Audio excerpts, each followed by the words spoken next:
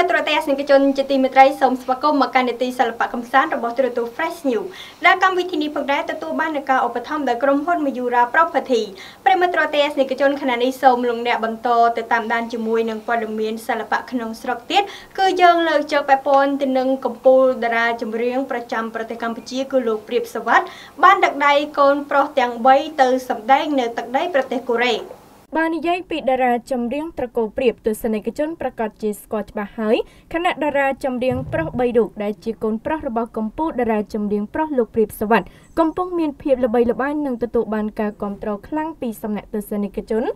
ក្រោយប្រកាសចូលធ្វើជាតារាចម្រៀងពេញសិទ្ធនិងបញ្ចេញចម្រៀងជាច្រើនបទនៅក្នុងផលិតកម្មហឹងមាសរួចមកយ៉ាងណាមិញកាលពីពេលថ្មីថ្មីនេះលោកព្រាបសវັດបានដឹកដៃកូនប្រុសទាំង3របស់ខ្លួនទៅសម្ដែងដល់ប្រទេសកូរ៉េធ្វើឲ្យបងប្អូនខ្មែររស់នៅទីនោះមានភាពសប្បាយរីករាយជាខ្លាំងនេះជាលើកទី1ហើយដែលលោកព្រាបសវັດបាននាំយកកូនប្រុសទាំង3នាក់ទៅសម្ដែងការប្រគំតន្ត្រីនាអំឡុងរដូវក្តៅក្នុងប្រទេសកូរ៉េនៅទីក្រុងសេអ៊ូលនិងក្រុងខ្វាងជូរយៈពេល2ថ្ងៃគឺនៅថ្ងៃទី24និង25កញ្ញានេះ លោកថែមទាំងក្រងច្រៀងទាំងបទល្បីពីចំនួនដើម និងបទសម័យពីរោះពីរោះដើម្បីធ្វើឲ្យកក្រៅឆាកតន្ត្រីទៀតផងការចេញសម្ដែងលើកនេះលោកថែមទាំងនាំយកក្រុមរាំរហូតដល់7នាក់យកទៅរាំអមជាមួយផងដែរដែលធ្វើឲ្យការសម្ដែងរបស់ឪពុកកូនទាំង4រឹតតែទទួលបានការចាប់អារម្មណ៍ខ្លាំងពីបងប្អូនខ្មែរនៅទីនោះជាមួយគ្នានេះលោកព្រាបសវັດបានឲ្យដឹងថាលោកចាក់ចេញទៅកាន់ប្រទេសកូរ៉េជាលើកដំបូងនេះមិនមែនគ្រាន់តែទៅសម្ដែងការប្រគំតន្ត្រីនាអំឡុងរដូវក្តៅ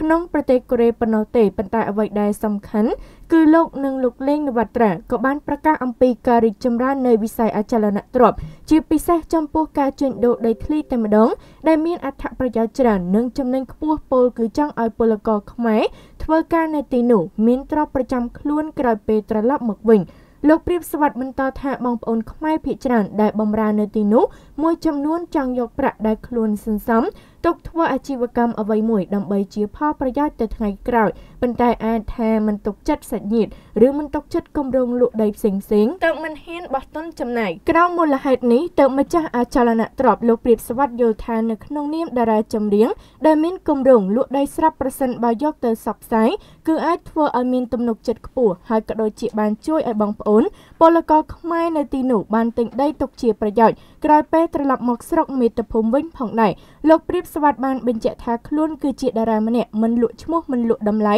ព្រោះតែលក់ដីមិនប្រកាសប្រជានោះទេ លោករំពឹងថានឹងអាចមានពលករខ្មែរច្រើនហ៊ានបោះទុនទិញលើគម្រោងរបស់លោកនិងលោកលេងនវត្រាព្រោះការវិនិយោគលើគម្រោងដីលោកគឺមិនមានភាពភ័យរឿងខាតបង់នោះឡើយហើយក៏មិនភ័យរឿងបាត់លុយដុំនៅពេលចង់លក់វិញដែរយ៉ាងណាមិញទោះបីជាបានពន្យល់ពីការវិនិយោគលើគម្រោងដីធ្លីនៅក្នុងប្រទេសកម្ពុជាសពគ្រប់អស់ហើយប្រសិនបើបងប្អូនជាពលកររស់នៅទីនោះមិនចាប់អារម្មណ៍ ក៏លោកមិនមានបញ្ហាអ្វីដែរខណៈដែលគម្រោងដីឡូមួយនេះក៏មានសន្ទុះគ្រប់គ្រាន់ចាប់តាំងពីបានបើកលក់នៅម្ដុំផ្សារប្រៃទទឹងនៅតាមផ្លូវជាតិលេខ3មកម្លេះ បន្ថែមព័ត៌មានខាងលើលោកព្រាបស្វាត់បញ្ជាក់ទៀតថាការផ្សព្វផ្សាយពីបញ្ហាដីធ្លីរបស់ខ្លួន គឺជាការរួមចំណែកជួយឲ្យក្រុមពលករកូរ៉េនឹងមានជីវភាពប្រសើរឡើងក្រោយពេលបញ្ចប់ការងារនៅក្នុងប្រទេសកូរ៉េហើយត្រឡប់មកកម្ពុជាវិញមិនដឹងរកស៊ីជួញដូរអ្វីម្យ៉ាងខ្លាចខាតចុងខាតដើមបណ្ដាក់ប្រាក់វិនិយោគខុសខ្សែធន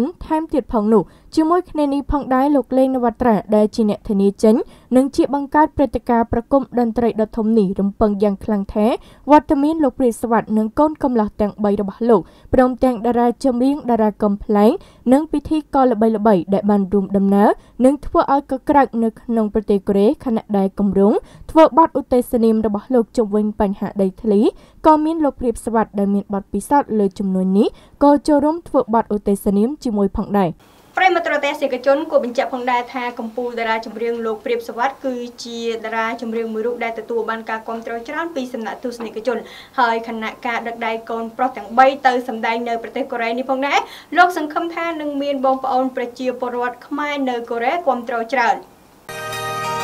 ក្រុមហ៊ុន Majura Property មានលក់ដីឡូល្អល្អមានទីតាំងស្ថិតនៅក្នុងខេត្តត្បូងឃ្មុំ ចម្ងាយត្រឹមតែ2គីឡូម៉ែត្រពីរង្វង់មូលសាកលវិទ្យាល័យហេងសំរិនត្បូងឃ្មុំក្រុមហ៊ុនផ្ដល់ជូនយ៉ាងពិសេសតម្លៃចាប់ពី2000ដុល្លារឡើងទៅ បងរំលោះដោយគ្មានអត្រាការប្រាក់ទំហំ5ម៉ែត្រគុណនឹង20ម៉ែត្រផ្លូវធំទំហំ16ម៉ែត្រនិង12ម៉ែត្រមានប្រព័ន្ធលូទឹកនិងភ្លើងស្រាប់មានហាងទំនិញភោជនីយដ្ឋានផ្ទះសំណាក់អាងហែលទឹកនិងតារាងបាល់ទាត់ជាពិសេសស្ថិតនៅក្នុងទីប្រជុំជនជិតសាលាខេត្តត្បូងឃ្មុំ ក្នុងឱកាសដ៏ពិសេសសម្រាប់អតិថិជន